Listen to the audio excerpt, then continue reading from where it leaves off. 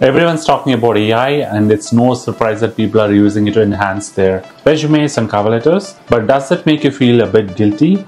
Are you worried that hiring managers will care if you use AI for any of your resumes or job applications? Hey everyone, welcome to Grit Tales. My name is Gowtam Tulugu and uh, thank you for watching my channel.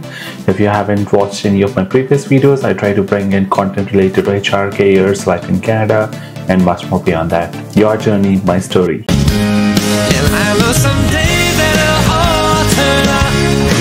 Here's the truth.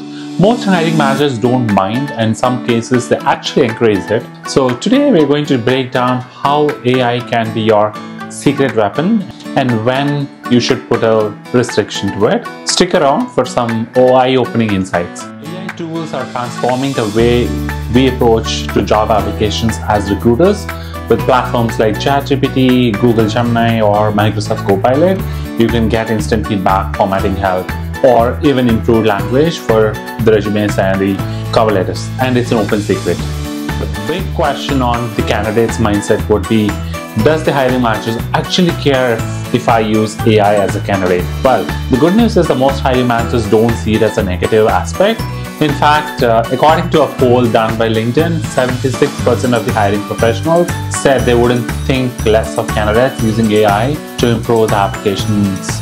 As part of the survey, one of the hiring managers said, I fully support applications using AI to improve their resumes and cover letters. I would much rather see someone use AI to tailor their cover letter specifically to the role rather than submitting something. It's pretty understandable if you feel conflicted about using AI, that dilemma exists in every candidate's mindset. But there's a lot of buzz telling us to experiment with AI to stay competitive, but that can sometimes create a sense of guilt in most of the candidates' mindset. And you all agree, job hunting is pretty personal to every individual, so your resume is also a reflection of you. But using AI to refine the reflection doesn't make you any less authentic make use of an AI tool like Spellcheck or grammar software would only help you to project yourself or present yourself in the best possible way. Let's be clear, AI is a tool to enhance your application and not replace your authentic self. As part of this LinkedIn survey, one of the HR professionals made a great point when he said that using AI to clean up grammar or cite references is completely fine but if you're using it showcase skills that don't exist, that's when you're crossing the line.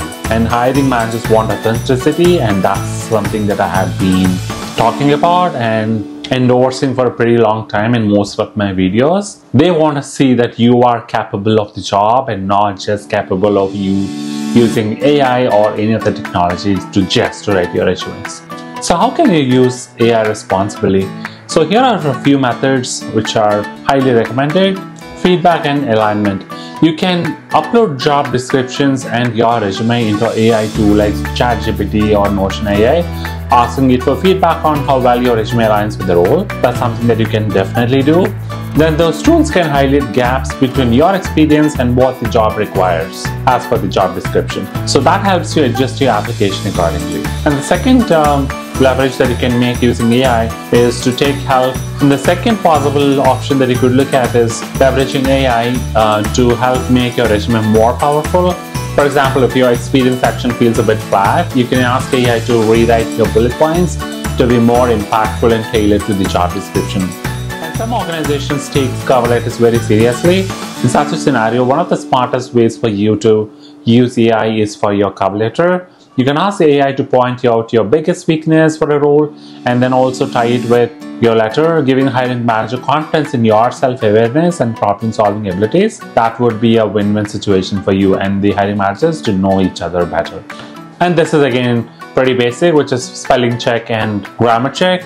And this is one simple but important, of course. As AI becomes more widespread, there's less tolerance for such mistakes to come from, from the candidates. Running your documents through AI can ensure they're polished and absolutely error-free. And interestingly, many hiring managers see AI skills as an advantage.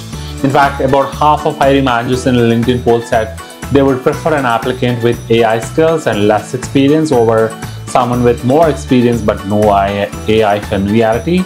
So knowing how to use AI shows that you are adaptable and ready to work with latest technologies, which is a huge plus in many of the industries these days.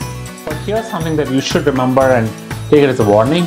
Don't let AI misrepresent you. if you if you say that you are an expert in something you are not and you get to the interview only to fall short it could damage your reputation take the help of ai only to shine a light on your real skills not to fabricate new ones. Always stay true to who you are and what you bring to the table. So do hiring managers care if you use ai to write your resume or cover letter? In most cases no they don't mind.